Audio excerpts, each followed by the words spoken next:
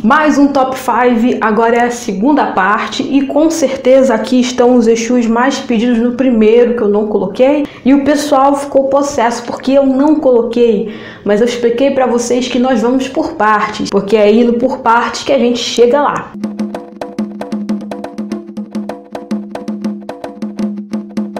E aí pessoal, tudo bem? Aqui quem fala é a Babi e para você que está chegando agora aqui nesse canal, ó, se inscreve, ativa o sininho e assinale em todas. Fazendo essas três coisinhas que eu tô te pedindo, você vai receber todas as notificações de vídeos que eu lanço aqui no acervo do seu Zé durante a semana. E o meu Instagram está passando aqui, tô disponibilizando o arroba na tela aqui agora e inclusive o link do meu Instagram está na descrição desse vídeo. Pessoal, essa é a parte 2 dos 5 Exus que são feiticeiros. Por que 5 Exus feiticeiros? Porque são entidades, são guias espirituais, guardiões, o termo que tu quiser falar aí. São, no caso, guias que lidam com uma magística, né? A magística de umbanda, de candomblé. Eles têm esse trato mágico. Eles não são só guardiões, eles também lidam com esse tipo de coisa.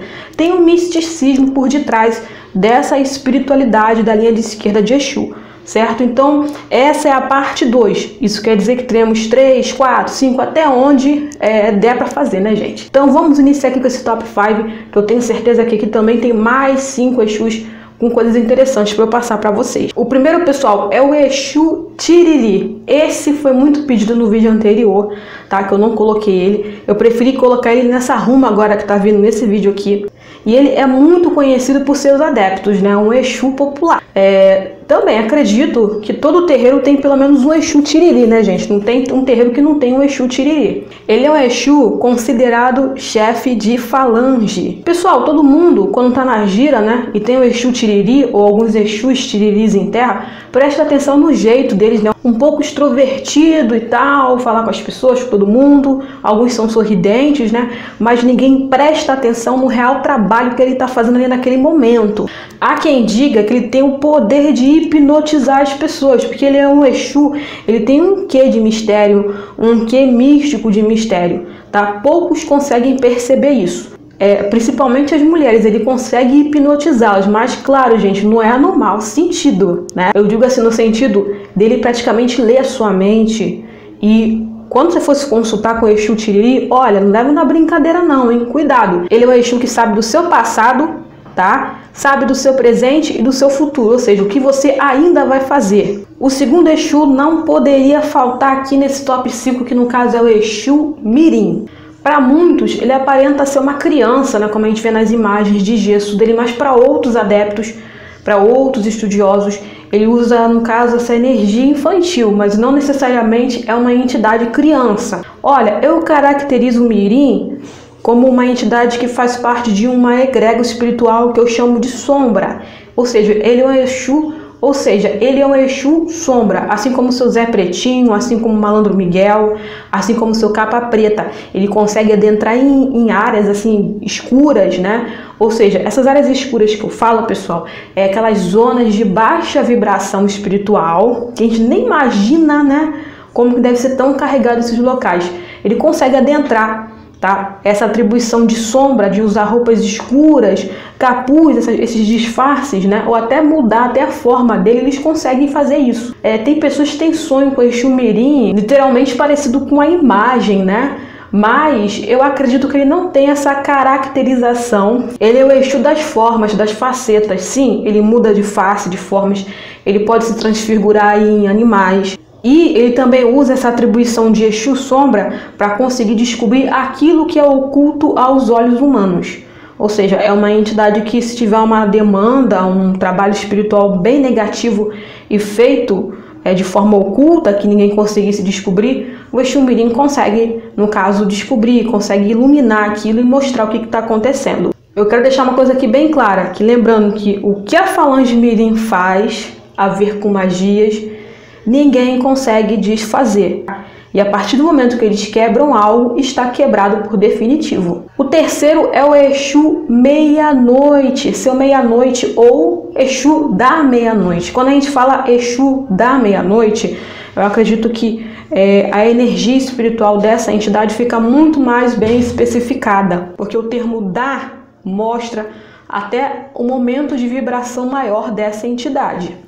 Pessoal da antiga, de terreiro da antiga, é, é, que, que esse povo fazia antigamente quando dava meia-noite e o toque estava terminando justamente nesse horário?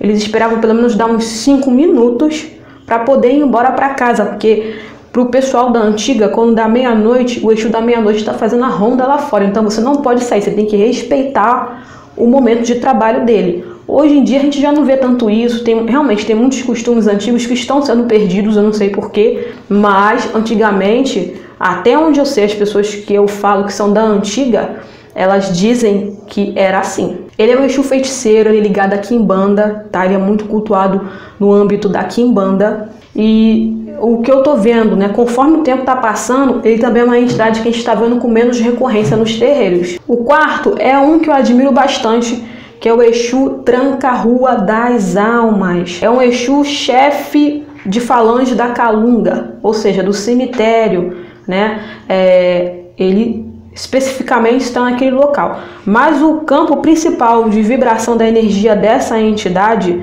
é justamente no Cruzeiro das Almas. No Cruzeiro das Almas é onde é o ponto de força dele, tá? O Cruzeiro das Almas geralmente fica no centro do cemitério. Então ele, o seu tranca fica no centro lá do cemitério, onde está o Cruzeiro das Almas, coordenando tudo que está ao seu redor, tá? Por isso que ele é considerado o chefe de falange dentro da Calunga. O maior objetivo do Exu Tranca-Rua das Almas, pessoal, é justamente trazer caminho para os seus médiums Tá? E também trazer discernimento. Geralmente ele pega caminhos de pessoas que têm algumas dificuldades na vida em relação a vícios, né? É um, eu acho que até um pouco parecido com os médios de Zé Pilintra. Pessoas que estão sempre envolvidas em problemáticas, em confusões. Então ele é uma, uma entidade que traz esse discernimento. Tudo bem que por ele ter essa ligação com o povo das almas, ele também tem uma atribuição a ver com cura, desencarne, etc. Mas como ele é tranca-rua, então ele trabalha no âmbito, no sentido da falange de tranca-rua, que é a questão do caminho, que é a questão do conserto do ser humano. E a roupagem dele, que no caso é uma característica muito assim evidente, é a maioria branca, né? Justamente por conta da ligação dele com o povo das almas, porque tranca-rua a gente vê de preto e vermelho geralmente, né? Mas aí seu tranca-rua das almas a gente vê ele praticamente quase todo de branco, nem todos, mas a maioria usa branco, é a cor predominante. O quinto Exu e o último desse top 5 é o Exu Caveira. É um também que o pessoal reclamou bastante que não estava no primeiro top 5. Então, não é por causa disso que eu estou colocando aqui. Como vocês podem ver, eu estou colocando entidades um pouco próximas uma das outras. Como eu, tô, eu falei anteriormente do seu Tranca-Rua das Almas, então aqui agora eu vou falar do Exu Caveira. Ele também é um guia-chefe de falange. A falange que é bem famosa, que no caso é a Falange Caveira, ele é comandante dessa falange. É uma entidade que trabalha na área da cura, tá? Ele também é especialista na quebra de demandas. Especificamente essas feitas no cemitério, porque tem muita gente que vai no cemitério fazer macumba para os outros, macumba ruim para os outros, né? Mas a energia de Exu Caveira não se limita apenas na calunga pequena. Tem estudos que falam que, por exemplo, a gente pode encontrar a energia dele em locais de desencarne, que no caso é portas de hospitais, por exemplo. O Exu Caveira é uma entidade que cuida desse âmbito do ser humano, da passagem dessa vida material para a vida espiritual. Ele, no caso, guia as almas para esse tipo de discernimento e entendimento. E ele vem transfigurado como uma caveira para mostrar para as pessoas como nós somos por dentro, qual é a nossa realidade, que isso tudo aqui não passa de matéria, é tudo material. O que importa mesmo é o espiritual, é de onde a gente veio. Ele é considerado um médico praticamente na falange de Exu. Bom, pessoal, eu espero que vocês tenham gostado desses Exus que eu trouxe agora e inclusive das informações também que eu tô mandando aqui para vocês, ó. Se você gostou, deixa o seu like, compartilha com seu amigo, com a sua amiga aí, para que eles possam também assistir esse vídeo, tá? Eu vou ficando por aqui, vou deixando um grande axé para todo mundo e até o próximo vídeo.